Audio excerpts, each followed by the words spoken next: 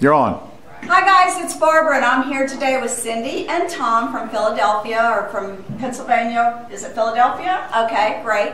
And they've got an awesome story to tell you and I'd love for you to hear it. So Cyndy, Tom.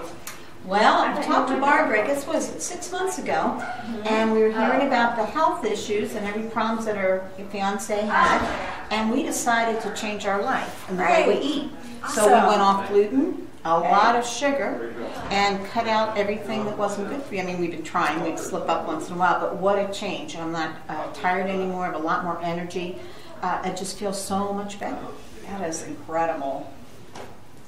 And also, obviously, I met Barbara at the same time, but I was resistant, didn't make any changes, and then probably a couple months later, I ran into another fellow that was telling me the same story and all the great results he had by changing his diet. So I said, well, I think I'm going to give it a try. And man, within less than a month, my energy was just like like I was a kid again. It was so so great, and basically cutting out sugar, caffeine, and gluten.